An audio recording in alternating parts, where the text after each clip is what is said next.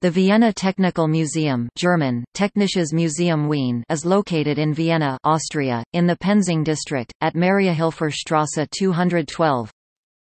The decision to establish a technical museum was made in 1908, and construction of the building started in 1909. On June 20, 1909, Emperor Franz Joseph laid the foundation stone. The museum was opened in 1918. The permanent exhibition categories include, nature and knowledge, astronomy, principles, physics, heavy industry, mining, iron, steel, energy, mass production, luxury goods, everyday life, directions for use, communications and information media, musical instruments, transport, basic research, a great adventure. Gallery